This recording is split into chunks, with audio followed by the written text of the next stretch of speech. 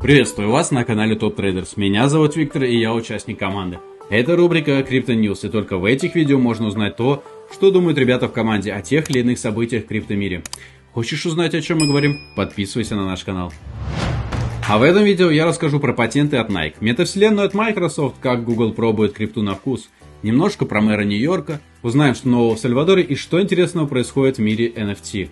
Так что устраивайтесь поудобнее и впитывайте информацию. Пожалуй, начну с Google. Материнская компания Grayscale под названием Digital Currency Group получила 700 миллионов долларов инвестиций при оценке в 10 миллиардов. Раунд возглавил SoftBank и компания под названием Capital G. Это подразделение прямых инвестиций Alphabet, материнской компании Google. Digital Currency Group – это компания, под крылом которой находится, собственно, сам Grayscale, у которого 50 миллиардов активов под управлением, криптокредитор Genesis и новостное издание CoinDesk. И не забываем, что Grayscale совсем недавно подала заявку на спотовый биткоин ETF.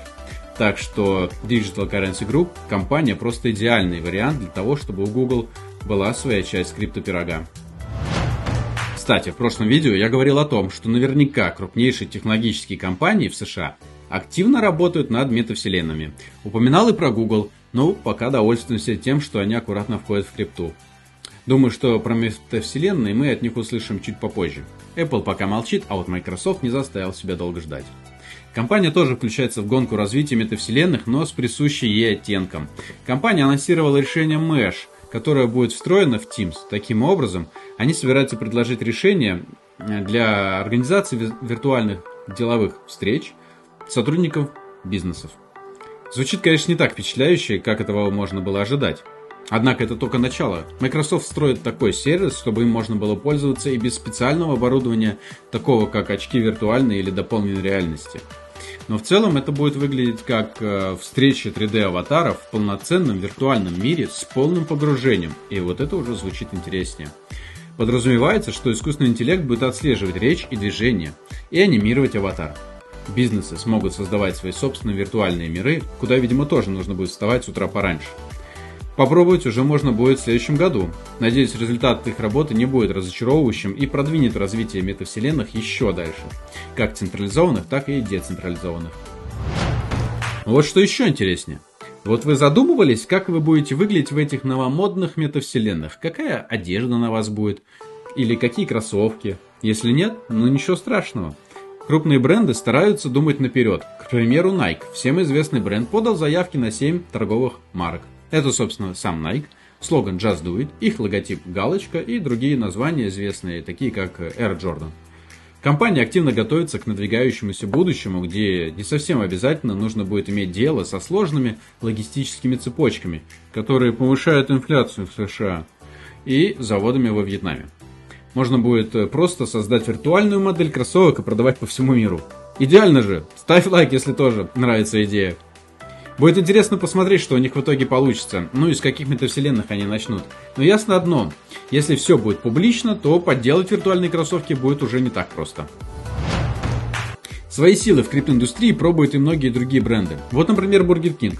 Фастфуд бренд, который умеет в мемы, анонсировал кампанию по выдаче токенов Doge за покупку бургеров. Плюс можно поучаствовать в розыгрыше целого биткоина или эфира. Выплаты будет производить Robinhood, брокер в США, который пользуется популярностью молодежи и завсегдатаев Reddit. А вот Макдональдс просто устроил розыгрыш у себя в Твиттере NFT токена, который можно будет обменять на бургер. Но очевидно, никто в здравом уме этого делать не будет – так что бренды двигаются в сторону крипты в основном за счет использования NFT токенов. Еще один интересный пример – компания Budweiser, которая запускает NFT-коллекцию, а помогает ей в этом компания Winner NFT, основанная криптоинфлюенсером Гэри Винерчеком. И за этой компанией точно следует последить, потому что создана она а как раз для того, чтобы помочь крупным брендам по-новому монетизировать свою аудиторию. Пионером стал пивной бренд. Посмотрим на результаты их работы и с нетерпением ждем новых анонсов. А еще Квентин Тарантино анонсировал продажу NFT токенов, которые будут содержать вырезанные и ранее не опубликованные сцены из фильма «Криминальное чтиво». И в этом интересно не только то, что Тарантино в курсе про NFT, и что за столько лет у него все еще остался какой-то невиданный материал, но и то, что продажа будет происходить в Secret Network, а продаваться будет Secret NFT. И особенность э, в том, что данные владельца и метадата токена будут закрыты, что кардинально отличается от того, к чему мы все привыкли в эфире. Без сомнения, аукцион пройдет успешно и привлечет внимание многих разработчиков к решениям, которые предлагает Secret Network.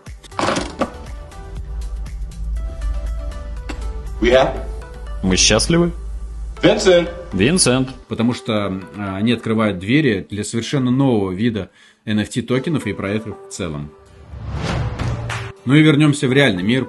В Нью-Йорке избрали нового крипто-френдли мэра. Еще на предвыборном этапе он заявлял, что хочет сделать Нью-Йорк э, самым дружелюбным городом по отношению к криптовалютам. И это очень напоминает Фрэнсиса Суареса, мэра Майами, который активно продвигает внедрение криптовалют в своем штате. Так вот, Эрик Адамс, мэр Нью-Йорка, заявил, что готов э, получить ближайшие три зарплаты в биткоинах. Это было ответом на твит мэра Майами, который получит следующую зарплату в крипте. Кроме этого, Эрик готов запустить городскую криптовалюту по принципу той, что работает в Майами и уже принесла миллионы долларов в казну. Конечно, это может показаться незначительным или неинтересным, но когда люди, обладающие властью, готовы на эксперименты, это не может не радовать. В конце концов, из их экспериментов может выйти что-то путное. Глядишь, и регулирование будет не таким жестким. И раз уж разговор зашел об экспериментах, то вы уж наверняка помните про первую страну, которая включила биткоин в свои резервы – Сальвадор. Оттуда пришли новости – Мало того, что они еще прикупили битка на просадке, блин, целая страна как фонд какой-то. Ну ладно. Так они еще используют заработанные от роста курса средства на что-то действительно важное. Во-первых, они начали строить больницу для животных, что не может не радовать. А во-вторых, президент Букеле анонсировал строительство дополнительных 20 школ за счет полученных средств. Да, мы тут на другом конце планеты. Возможно, не знаем всех подробностей и нюансов, но звучит это прям очень круто.